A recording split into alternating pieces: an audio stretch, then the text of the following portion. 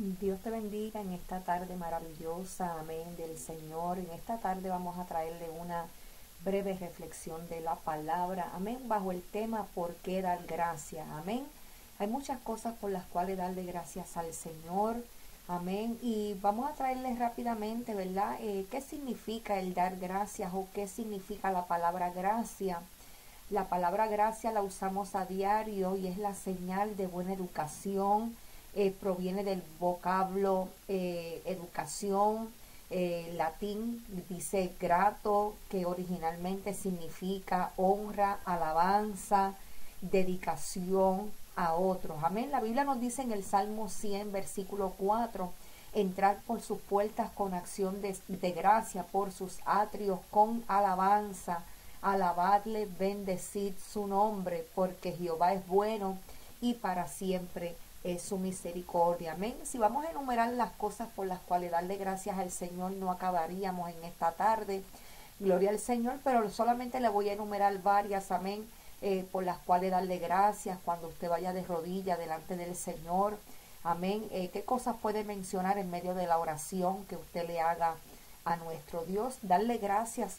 Jesús, gracias porque Él murió por nosotros, nos lo dice Romanos capítulo 5, versículo 6 y 7. Amén, porque Él merece toda gloria.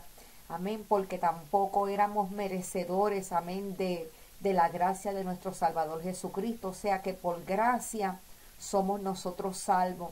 Amén, damos gracias al Señor por sus misericordias que son grandes, amén, que son nuevas cada día, por su amor que, ¿verdad? que se dio en la cruz del Calvario por usted y por mí. Amén, gloria a Cristo. ¿Por qué agradecerle al Señor? ¿Qué cosas? Amén. Eh, debemos también incluirlas en la oración. Cuando te despiertas, darle gracias, Señor, porque me levanté, porque me desperté. Gracias, Señor, porque puedo respirar. Gracias, Señor, eh, porque tengo un hogar, tengo algo donde, ¿verdad? Eh, aguarecerme o un techo donde yo puedo estar seguro. Gracias, Señor, por los alimentos que consumo a diario. Gracias Señor por la familia que me has entregado. Gracias Señor por la salud que poseo, sea que estés enfermo o no. Hay que darle gracias al Señor. Amén. Y la Biblia nos relata acerca de la historia de, de los diez leprosos. Amén. Que nos la relata en el libro de Lucas capítulo 17 del 11 al 19. Amén. Que eh, Jesús le dice, ve y cuéntale a los tuyos las cosas grandes que el Dios Altísimo ha hecho contigo. Así que hay que darle gracias al Señor por todas las cosas, sean buenas o sean malas. Amén, para que sea el Señor, amén, obrando, siga, amén, el Señor bendiciéndote y ser agradecidos con el Señor por lo que Él ha hecho con nosotros. Así que, amado, gloria al Señor, no olvide, amén, seguir nuestra página Pastora Lourdes Arce SD y nuestra página oficial de Pastora Lourdes Arce oficial en YouTube. Amén, le amamos grandemente. Un abrazo a la distancia a cada uno de ustedes y estaremos orando por sus peticiones. Amado Dios y Padre Celestial, gracias Señor por esta audiencia maravillosa.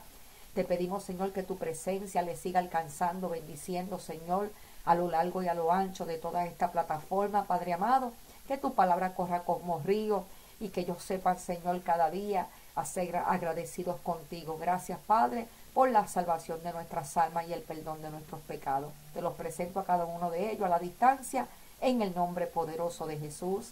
Amén y amén. Así que les saludamos, un abrazo fuerte y que Dios les bendiga.